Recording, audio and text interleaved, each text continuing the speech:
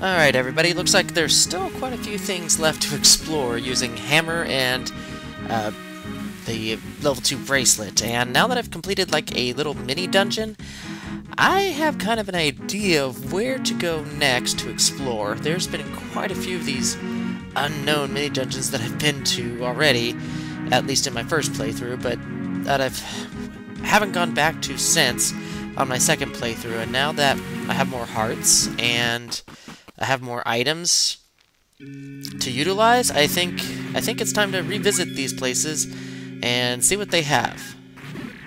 I mean, if the last dungeon was any indication where there's nothing but Darknuts and stuff, with a little smattering of Wizzrobes, then yeah, we got quite a few little mini dungeons to return to.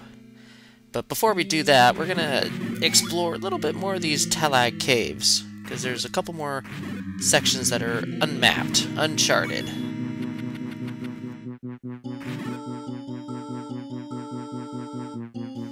Yeah, there's quite a few things on the south side that I want to check out. There's one on the lower right, but eh, I'm not on that side of the map yet. I'll get there eventually.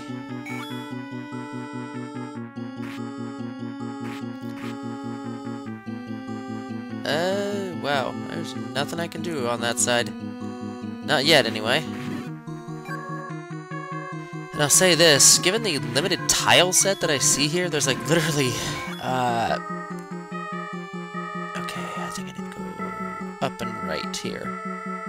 But yeah, there's literally nothing but like one cave floor tile and like three to four different types of rocks. I mean, that is literally it in terms of tile usage. So I gotta applaud the designer for at least trying to make these caves look interesting, but they're still kind of dull. just, just slightly. No, quite a bit, actually. Uh, there's a room to the left here. Ooh. Oh, snap. Woo! Another magic upgrade. Wow, something tells me I could have got this after level 5 because all that was needed was the frickin' ladder. Go figure. Okay, I'm in the desert. Okay, that's actually perfect. This is exactly where I want to be next. Because there just happens to be a small little mini dungeon that I really recall way, way back when I was attempting level 3 that kind of got on my nerves. Because I couldn't beat it. Now that I have more hearts, and I have the red mail, well, shoot. There's no reason why I shouldn't beat it. Right here. I remember this one extremely well. Oh, yes. The Gohma. the Gohma Mini Dungeon. I think I got to... I got, I don't know, I gotta go look back at my footage way back when, but I think I got to the third room, the Gohma Trials, and then that was it. I couldn't get any further. Yeah, I think this is the furthest I got, and this is kind of crazy in itself. Four foot shooting statues, three Gohmas. Yeah. three hearts, green tunic. This was just about done. But now, not too bad here. This, I think I have a chance here. I think this has got to be the last room. I mean, what more could they throw at me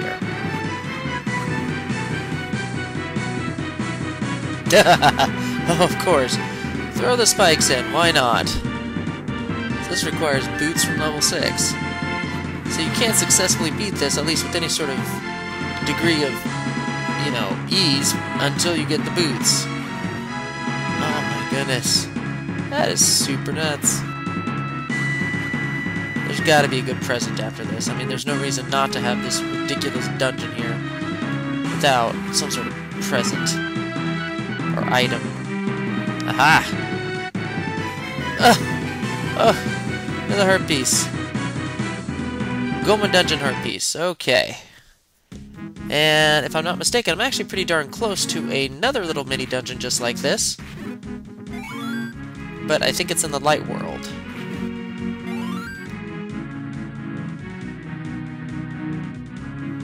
I just gotta get to the warp to the light world first.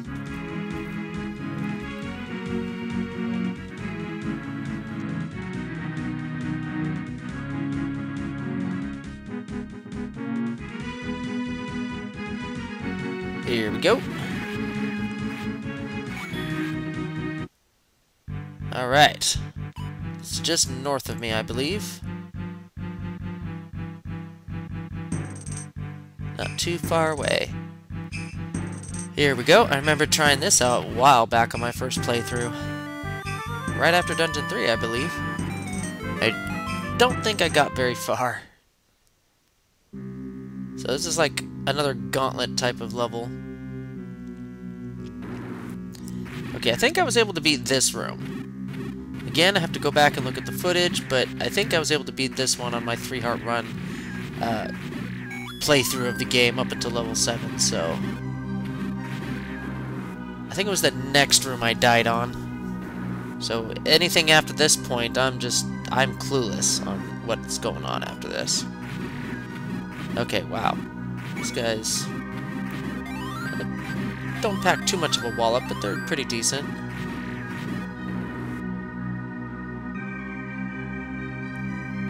so we're just going a counterclockwise route. Okay. Ah, Darknuts, of course. Wow, coming straight off of level 3, this would be terrible. I mean, you'd need at least the ladder from level 5 to make this room easy. So if this is door number 3, what the heck is behind door number 4?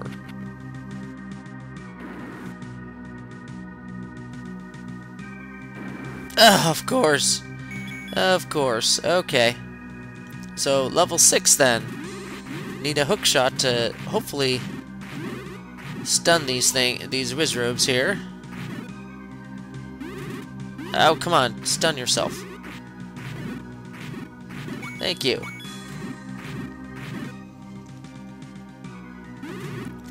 I think that's it. All four rooms are down. Whoa! Whoa! Oh, oh my goodness, what the heck? Oh, Jiminy Christmas. Super Manhandlas! oh my gosh, they're so crazy! What the heck just happened? Oh my gosh, that was terrible. And I see a pattern with these little mini dungeons. Yep, one more, and I have another heart piece. And speaking of which, I actually know where to get one more. As a matter of fact.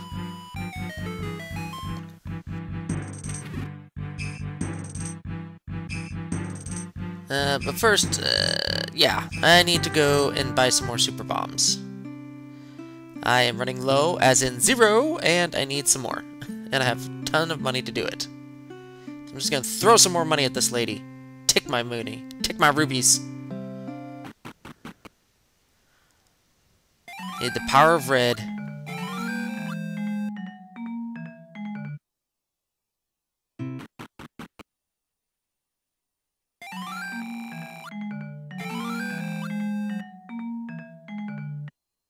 Okay, this is kind of annoying, going in and out just to buy more bombs. There, there's got to be an easier way to just keep buying more bombs and just enter the house just once. But I don't know the limitations of the program, I don't know how things are run, but having to go in and out all the time is kind of ridiculous. But that's a nitpick, small little gripe. Nothing big in the grand scheme of things, though.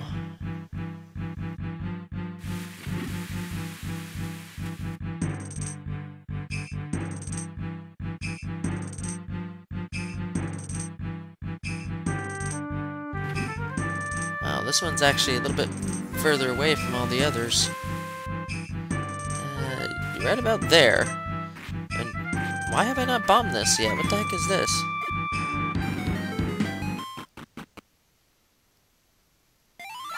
Oh, it's an info dude, that's why.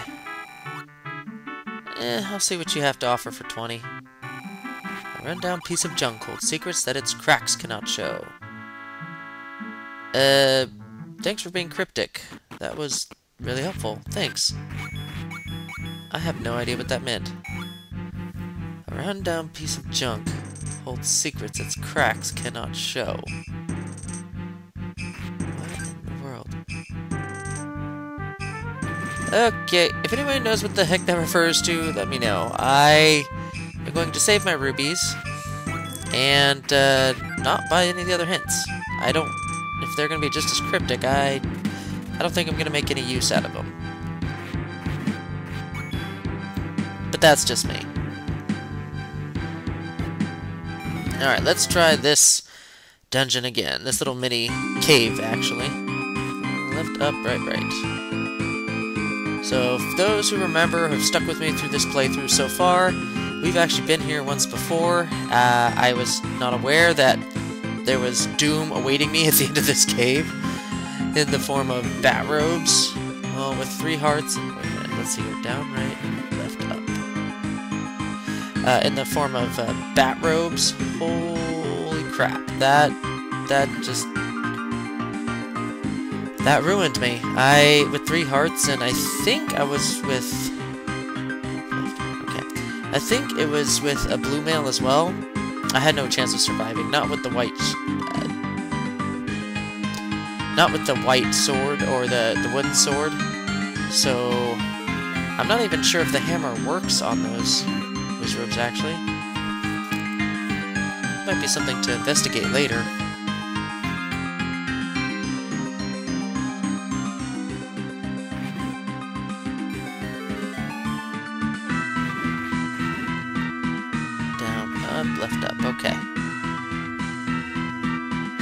Although this is kind of neat in a way that these, you know, the designer's using maze paths to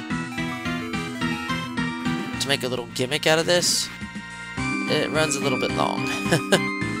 Could have ended about two screens ago. Ah, here's the bat robes. Hello. Oh my goodness. Okay, one's down. Woo! Okay, so it looks like they take about four hits.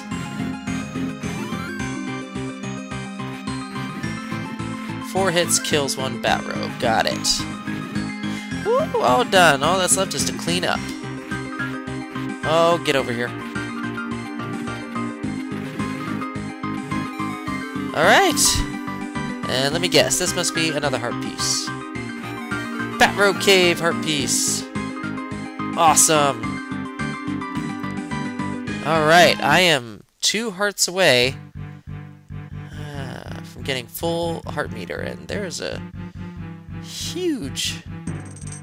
Uh, there's that section there in the water. And that I think I can get to right now. And wow, that, requires the raft, and I haven't even gone there yet. I'm trying to fill in all the spaces on the world map, so I so I can safely say I've explored everything. Because until I got all the white spaces cleared out, I mean, I can't really safely say I've explored everything in this game. Or at least tried to, and I, I am not going the right way. Okay, I need to... Apparently I need to face right when I press the whistle. Oh, which brings me to a little tidbit of information. A uh, little trick to using the whistle, if you are facing right or down, when you blow the whistle, you'll go to the next uh, dungeon and sequence for the whistle warps. But if you're facing left and up, you'll go back uh, one dungeon in sequence. Just a little bit of trivia there on how to use the whistles more efficiently. So face the, the direction you're facing is very important when using the whistle. Okay, so yeah, there's this raft path I've never taken. And, uh... I don't... I don't see anything here.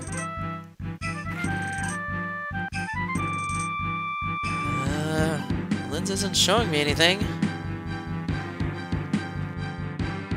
Maybe there's something under that rock? I have no idea. Okay whatever. Continue on my merry way. And go pound this stake in. Right here. So this is definitely something you can't access until after level 8. 7, correction.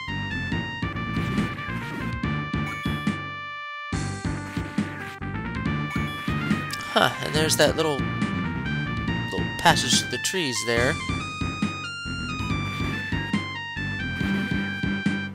Okay, that's definitely a dungeon Triforce mark.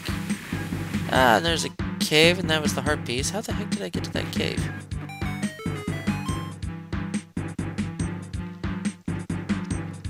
Okay, this must be Dungeon 8, I believe. Find out in a moment. Yes, level 8. Jarda Ridjabar Markov, yeah. Jarin Markov, yeah, there we go. Cross and the flippers. I knew it! There had to be some sort of uh, swimming item. Uh, looks like they're gonna have to be in the left inventory part of the screen. What the heck does the cross do? I mean, I've played a couple uh, quests uh, since starting this play series. Uh, when I first played this, I, ha I, hadn't really... This was actually my first custom quest, but then in between, I've actually started playing other quests. But I have yet to come across an item that... That's the cross. So I have I have no idea what it's about. Okay, so the boss is all the way up there. Doesn't do me much good unless I have a map.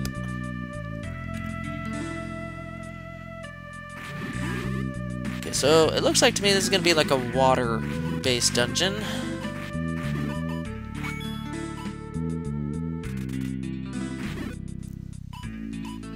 Okay, I don't have a key. Got it. Okay, can't do anything more.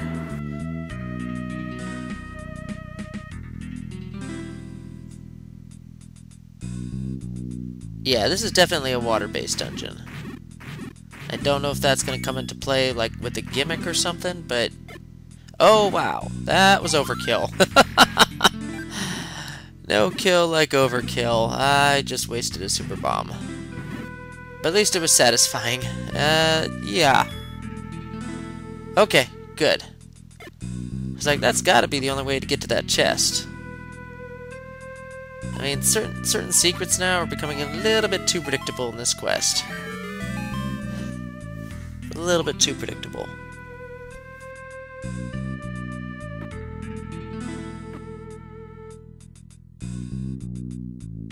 So before we progress any further past any other doors, I'm going to go back and unlock this one.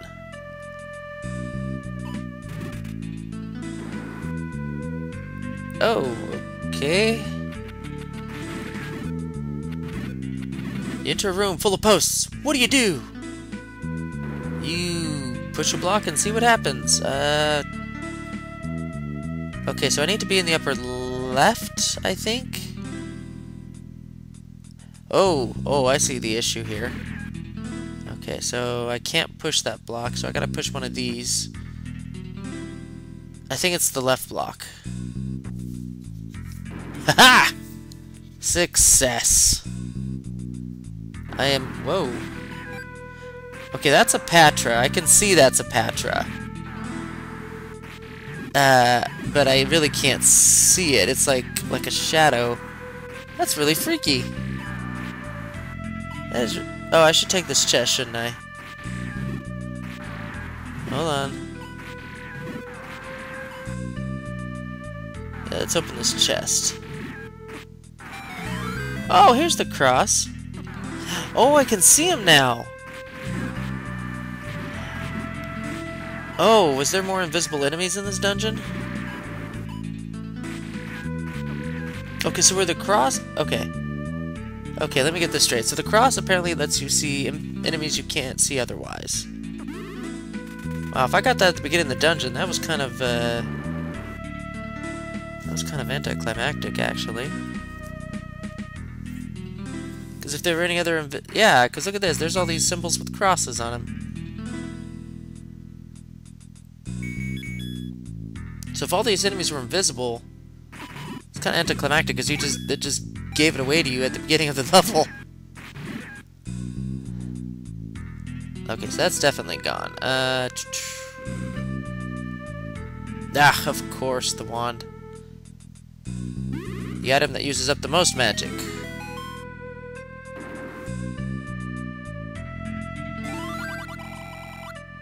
Huh. Uh, uh, that's not even remotely useful. Whoa! That is... That is a new Wizzrobe. What is this vile sorcery? Oh wow, that is a new Wizzrobe for sure. I don't... That... That did not exist in the original game, actually. I don't remember any Wizzrobe that shot fire out like that. Oh, good gosh, no. Ooh, it hurts, too. And yeah, that is a little bit too obvious on that chest.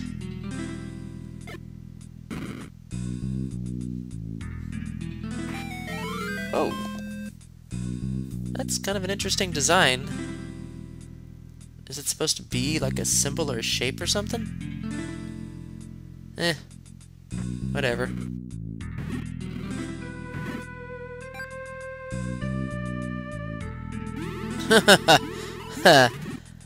okay, I'm starting to see a little bit of a thing with this dungeon. They give you all these powerful enemies to defeat, and they don't give you a lot of room to work with. It's like most of the room is taken up by water or something else. Okay.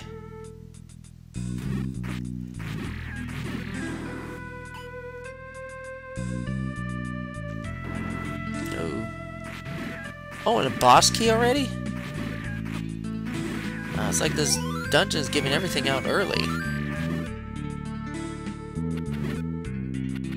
Okay, and there's clearly something with those panels. Light-colored blocks. Let me see if I can push this. Yep. Okay, I see what the issue is. Okay, I need to push all these. Okay, so it's like a block pushing puzzle with the trap thing. Oh, that's kind of cool.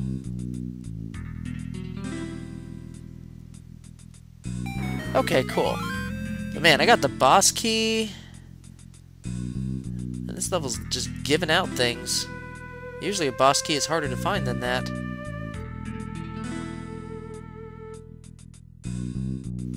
I don't even have the flippers, actually. I don't have all the items of the dungeon, and I got the boss key already. That's really weird. Oh, whoa. It's those Darknuts again. Oh gosh. It is. Oh, it is. They are splitting it. I don't even know what to call those. Ultimate Darknuts? Dark Max? Max Darks? I have no idea. Alright then. And I've hit another dead end. That requires another key. Alright, so we're going to backtrack. Ow. And, ooh, looks like I'm running up on my time here. So we're going to backtrack towards the start. And we're going to continue investigating level 8 in the next video. So, until then, everybody, see you later.